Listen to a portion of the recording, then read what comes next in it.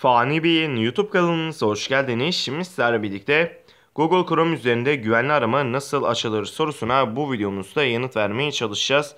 Siz değerli takipçilerimize. Burada yapmanız gereken Android telefon ya da tabletinizde Google uygulamasını açıyorsunuz. Açılan e, ekranın sağ üst köşesindeki profil resminize dokunun.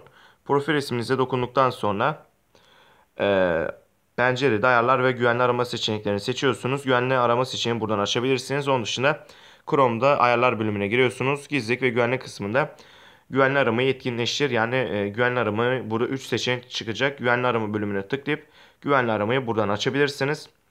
E, ya da internetinizin zaten güvenli bir internet e, yani e, güvenli internet hizmeti varsa internet servis sağlayıcısının mesela Türk Telekom kullanıyorsanız TürkNet vesaire kullanıyorsanız güvenli interneti açtığınızda Chrome'u e, kullanırken de zaten güvenli internet hizmetinden yararlandığınız için otomatik olarak aramalarınız güvenli arama olacaktır. Videomuz bu kadardı. Umarım videomuzu beğenmişsinizdir. Videoyu beğendiyseniz aşağıdan beğen butonuna kılmayı unutmayın. Kanalımıza abone değilseniz lütfen abone olun. Bir sonraki videomuzda görüşmek üzere. Hoşçakalın. Kendinize iyi bakın.